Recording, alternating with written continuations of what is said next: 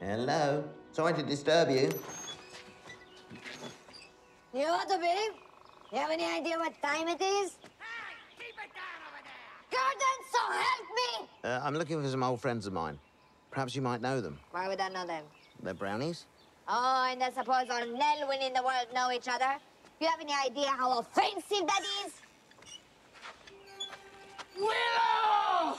Rool, am I glad to see you? It's been years. I thought I would never see you again. You look. What is it? Bigger, yes?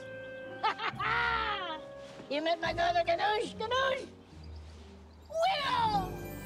Huh? She's at that rude age.